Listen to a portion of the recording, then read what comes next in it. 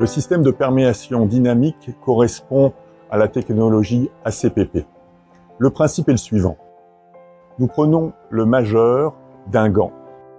Nous retournons le gant de manière à ce que la molécule anticancéreuse soit en contact avec l'extérieur du gant et de manière à étudier la perméation de l'extérieur vers l'intérieur.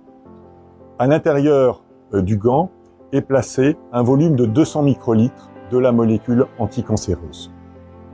Dans un tube de 10 ml, 1,5 ml d'eau distillée est introduit. Le gant contenant les 200 microlitres de molécules anticancéreuses est ensuite introduit dans le tube en plastique. Il est ensuite introduit dans le tube contenant le gant un piston lesté.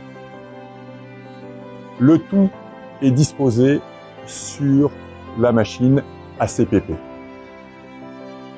Les mouvements de haut en bas de la machine permettent de réaliser une extension des gants, simulant par la même le système dynamique de perméation. Le test est réalisé sur 30 minutes. Chaque gant est testé en triplicate. Au terme des 30 minutes d'expérimentation, les 1,5 ml d'eau distillée sont recueillis de manière à analyser la présence éventuelle des molécules anticancéreuses. Deux techniques ont été employées. Pour la majorité des molécules, nous avons utilisé la chromatographie liquide couplée à la spectrométrie de masse. Pour les composés anticancéreux contenant des atomes de platine, nous avons utilisé la technique d'ICPMS.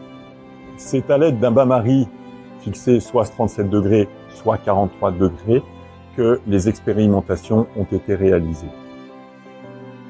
Grâce au système de perméation dynamique ACPP et aux conditions expérimentales que nous avons utilisées et le système dynamique de test, nous allons largement au-delà des normes en vigueur.